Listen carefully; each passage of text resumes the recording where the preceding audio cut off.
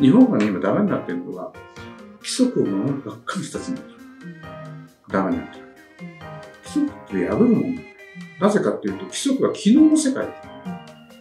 今日は合わない規則は、明日か、明日の世界で作り変えていかないといけない。それは日本維新の会が時代の変化に伴って社会のが変わっていけばそれに合った法律を作っていかなきゃならない。政治をしていかなきゃならない。日本維新の会うんそれにね、それに、それだから、つまり、自民党みたいな年功序列で、ね、当選何回じゃなきゃダメだとか言ってるわけでしょ？日本維新がベンチャー。ベンチャーっていうのは、あの、新しくいろんな形でいろんな人が入ってきて、少し考え違ってても構わない。